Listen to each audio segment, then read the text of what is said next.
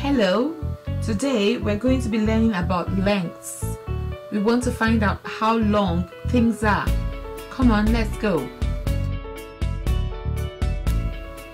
So, I've got my maths book. I want to find out the length of my maths book. I wonder what I could use to measure the length of my maths book. I've got a sweeping brush, a pencil, a paper clip and a cube of sugar. Let's use the sugar cube. How many sugar cubes long is my book? Can you guess? I think it might be five. Should we measure? One, two, three, four, five, six, seven. My maths book is seven sugar cubes long. Now I've got my teacher's table. What could I use to measure this time? Maybe I could use a paper clip. Well, no, that might take too long. I'm going to use the pencil. How many pencils long is my teacher's table? Can you guess? Should we measure? One, two, three, four, five. My teacher's table is 5 pencils long. Now I want to measure the door in the classroom.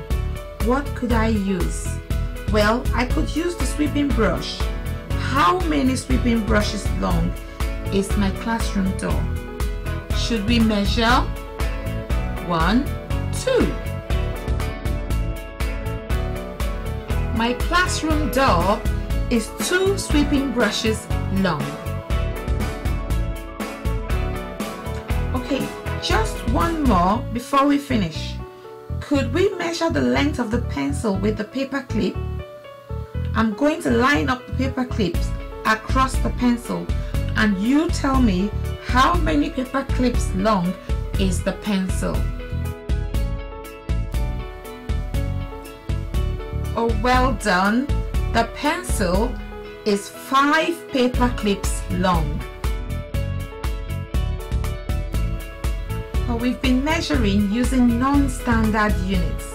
They are non-standard because they are not the units that we use every day. We just chose them ourselves. Do you know that we could use our body parts to measure as well? Our body parts could be used as non-standard units. We shall look at that in the next lesson. Go and have some practice now measuring lengths with non-standard units and I shall see you soon. Bye bye.